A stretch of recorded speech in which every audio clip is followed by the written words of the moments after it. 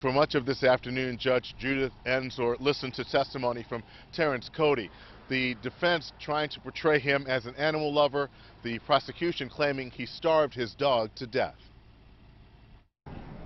Former Baltimore Raven, 27-year-old Terrence Cody, is charged with aggravated animal cruelty, neglect, illegal possession of an alligator, and possession of marijuana. The prosecution trying to prove a dog named Taz, a Presa Canario, also known as a Canary Mastiff, similar to this one, died of starvation. And the dog's owners, Cody and his girlfriend Courtney Kelly, are responsible. Her attorney claims Cody solely owned the dog. Cody's attorneys conceded neglect, but claims his client did not intend to kill the dog and cried after taking Taz to Main Street Animal Hospital in Reisterstown when the veterinarian tried but could not save the dog. The animal died hours later. Cody testified he spent $8,000 buying the dog and importing it from Spain. Baltimore County Police Sergeant J. Andrew McClellan described executing a search warrant January 21st, two days after the dog died.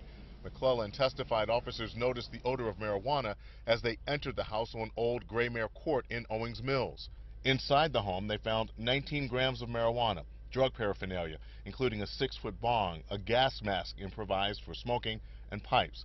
They also found a two to three foot alligator in a three foot tank.